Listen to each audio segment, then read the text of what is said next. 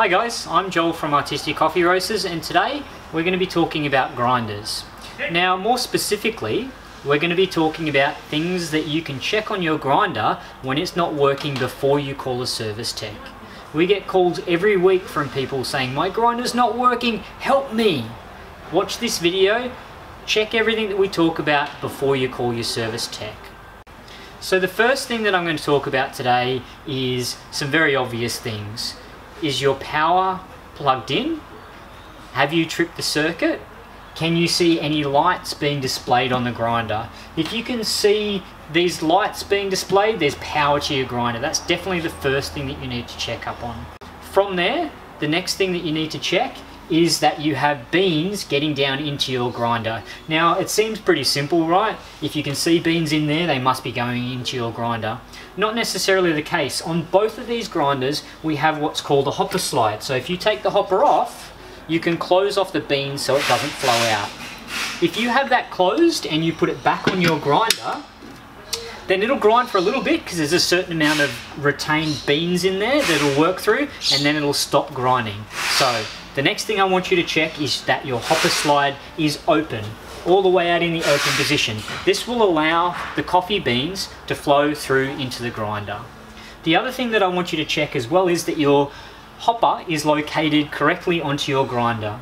At the back of most hoppers or some somewhere on a, on a hopper, it'll have a little pin or something along those lines. If this isn't inserted into the correct position, then the grinder there's a safety mechanism that stops the grinder from switching on.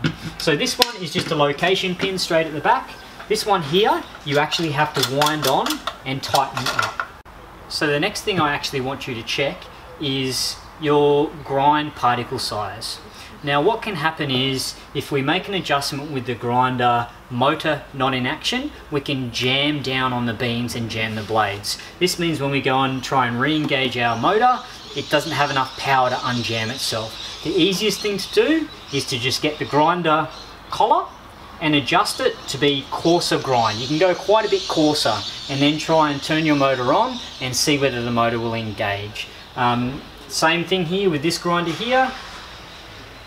Wind it out to make it coarser, see if the motor will engage and then make your adjustments finer. The other thing I'd recommend is if you're making large adjustments finer, to actually have your motor running whilst you're doing this, and that will avoid jamming the blades onto the beans. So the next one that we're going to look at is any blockages from where the coffee's being ground through to where it's actually being dosed.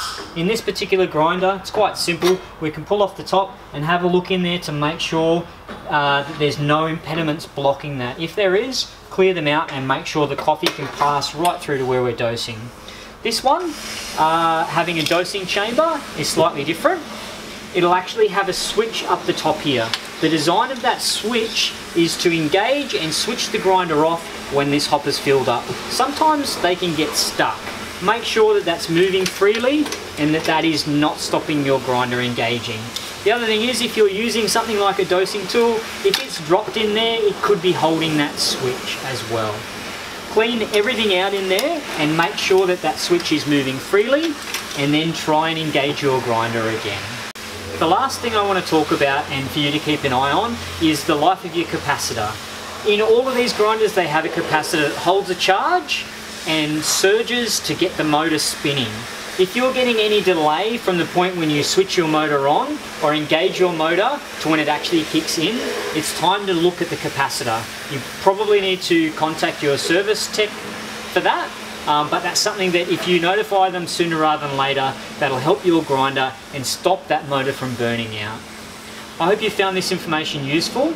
Please like the video, subscribe to our channel, and uh, stay tuned for more tips and tricks like this.